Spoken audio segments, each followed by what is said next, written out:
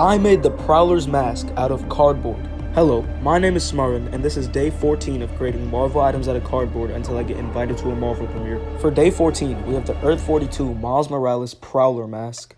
And as you can see, it's very cool. This is a side-by-side -side comparison. This was definitely one of my harder builds because the cardboard could not handle the weight of the servos, so the mask kept falling off. And with that being said, thank you for watching and comment down below what I should build next.